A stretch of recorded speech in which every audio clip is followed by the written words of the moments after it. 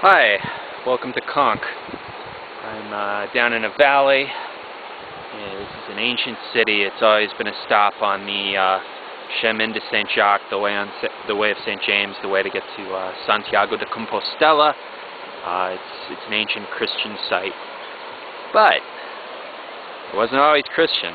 Now, um, of course, you don't see many, you know, kinds of uh, things that kind of show that it wasn't always Christian. There is one thing down here, though, that is, and that's the uh, Pont Roman, uh, the Roman bridge.